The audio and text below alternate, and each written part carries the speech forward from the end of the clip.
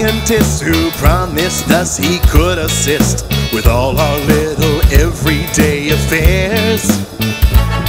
He built assistant robot men who towered 25 foot 10 and said that they would meet our every care. But his motives were ulterior, cause he felt we were inferior. And very much to our surprise, these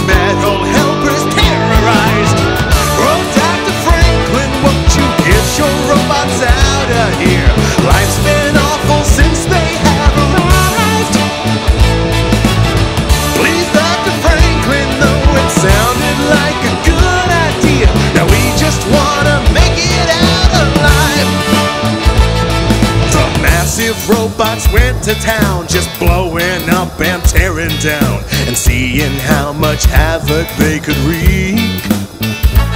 Now there's panic in the city streets as people run from metal feet. The situation's looking pretty bleak. Well, perhaps if everybody goes and grabs the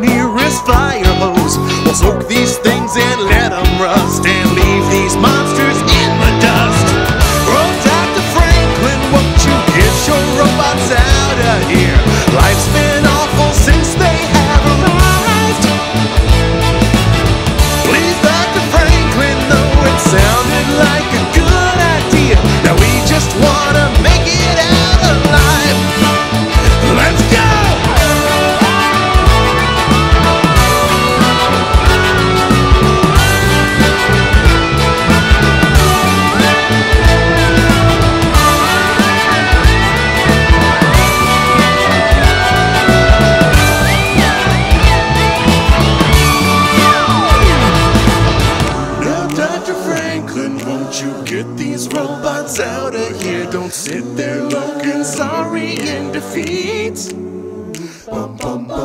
Please, Dr. Franklin, we'd sure love for them to disappear. They don't look pretty piled in the streets. One, two,